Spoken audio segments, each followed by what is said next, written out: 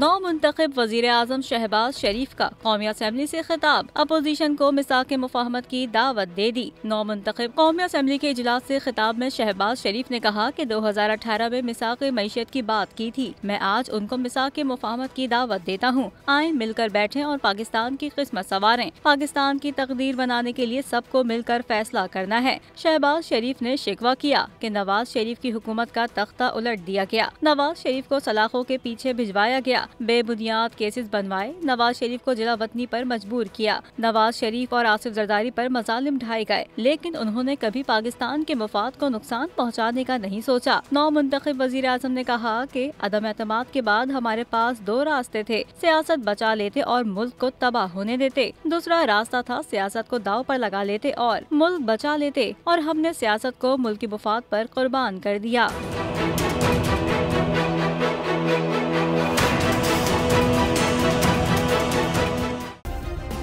Subscribe करें और bell दबाएँ ताकि कोई खबर रह न जाए।